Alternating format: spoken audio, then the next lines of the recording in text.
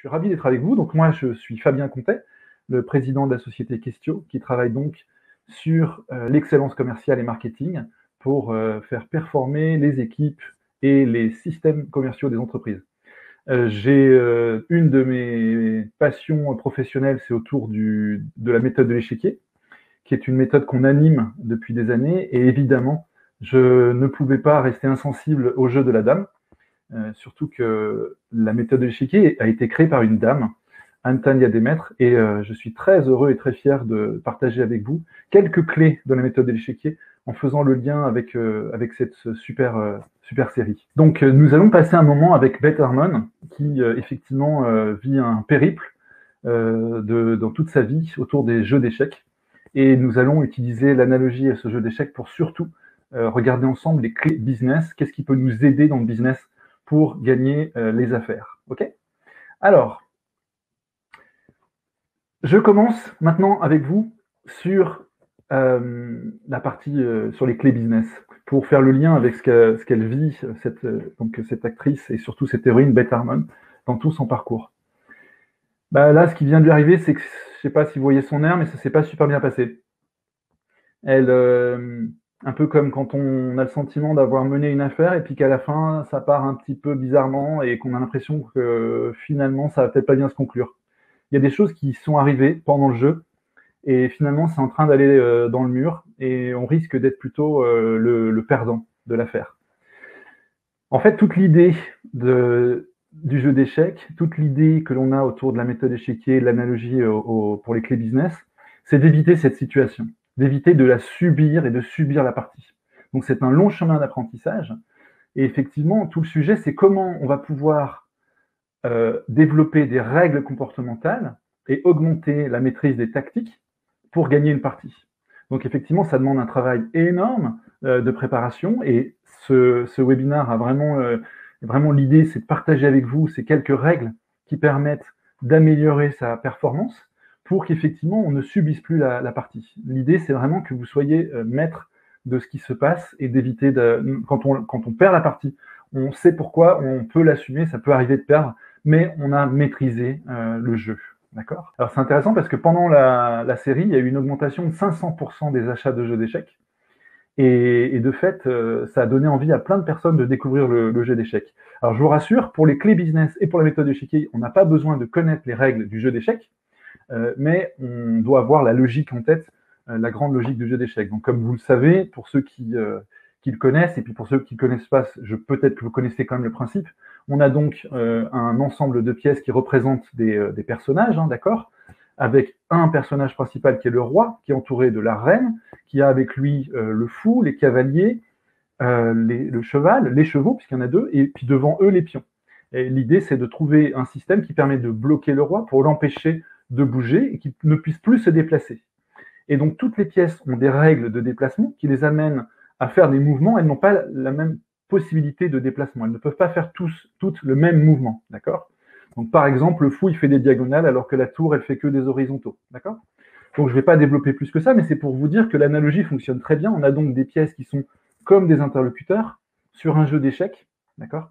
Et on va donc essayer de comprendre ce que prépare l'adversaire pour mieux se préparer dans les propres mouvements qu'on va mener soi-même. OK? Alors, j'ai une question à, vous poser par la suite, mais je vais d'abord revenir sur un, point qui est très important. Et, euh, finalement, euh, pour, beaucoup de personnes, dans beaucoup d'entreprises, on pourrait avoir ça d'affiché en, poster A3 dans les, euh, dans les bureaux des, des commerciaux et des key account managers. Ça peut paraître une évidence. On oublie souvent que lors d'une partie commerciale, qu'on mène pour gagner une affaire. Alors quand je dis partie de jeu, clairement l'analogie c'est une affaire, comment gagner une affaire. On oublie très souvent qu'il n'y a qu'un gagnant. Alors vous allez me dire ouais bon ok super Fabien merci on t'a pas attendu pour ça ouais c'est clair.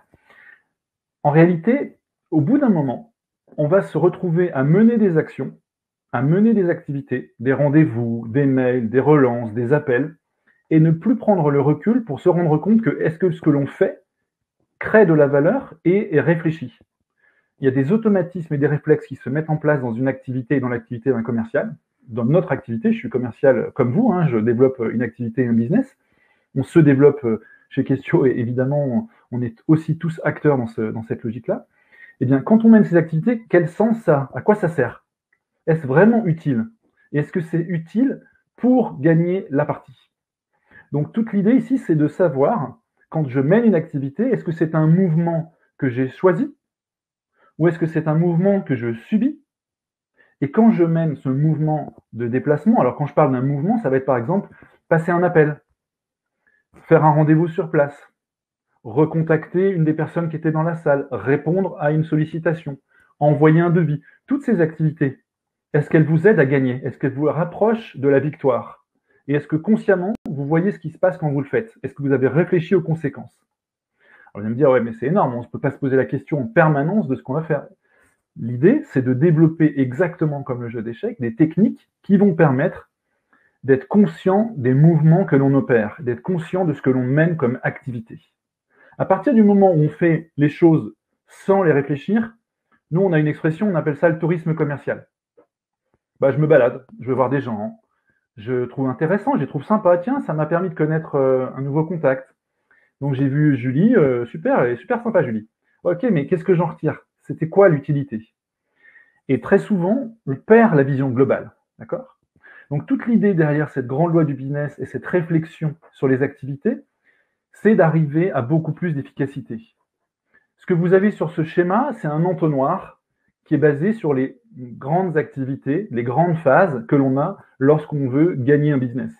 Donc il y a une première phase de préparation dans laquelle on va collecter de la donnée, une deuxième étape, je dans laquelle on prend contact avec plusieurs, un ou plusieurs interlocuteurs, puis on découvre euh, leurs enjeux, ce qu'ils vivent, euh, leur contexte business, leurs activités, et ça permet d'identifier un sujet, parfois un projet, parfois une demande, mais en tout cas quelque chose qu'on va qualifier.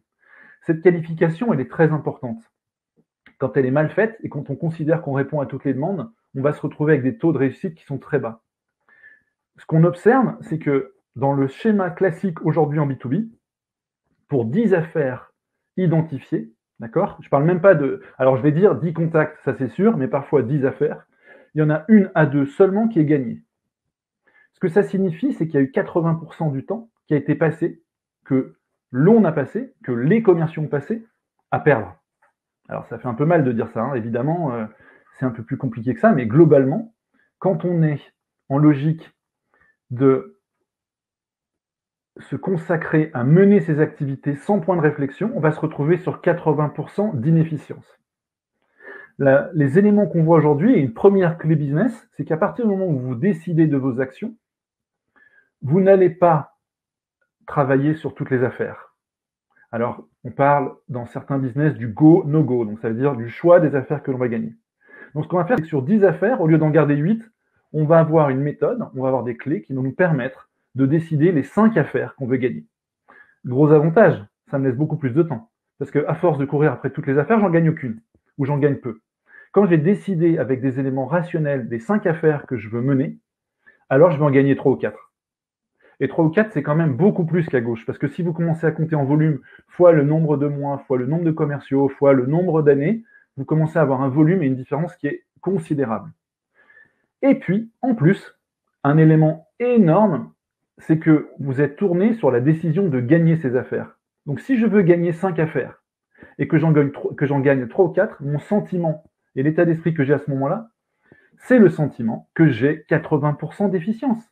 60 à 80% d'efficience et pas 80% de mon temps à essayer de chercher dans tous les sens et au fait d'avoir un, sentiment finalement d'avoir couru partout. Donc la première clé, qui est la clé bonus, parce que je ne l'ai pas mis dans les cinq clés business qu'on va voir, c'est déjà de changer son état d'esprit sur le fait qu'on va décider les affaires que l'on veut gagner.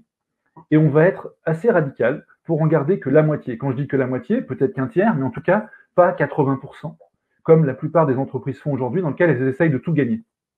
Et pourquoi est-ce qu'on essaye de tout gagner? Parce que comme on pilote au, nombre d'affaires et à la valeur du pipeline de vente, ben on essaye d'en avoir un gros avec beaucoup d'affaires, parce que ça rassure tout le monde.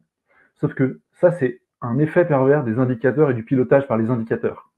Quand on rajoute de l'intelligence sur ces indicateurs, il vaut mieux en avoir 5, dans lequel on aura un taux de transformation de 80%, plutôt que 8 pour en gagner 2.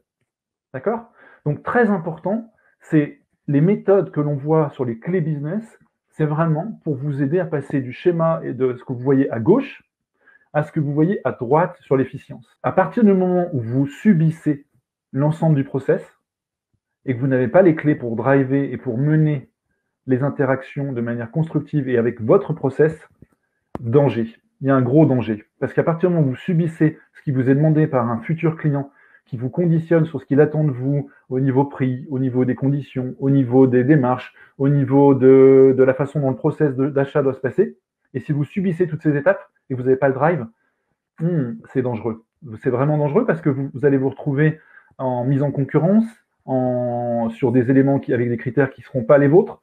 Donc vraiment, un des points, c'est de vous dire, OK, dans combien de cas est-ce que c'est je subis le process d'achat? Dans combien de cas je mène le process d'achat et je mène la discussion. OK?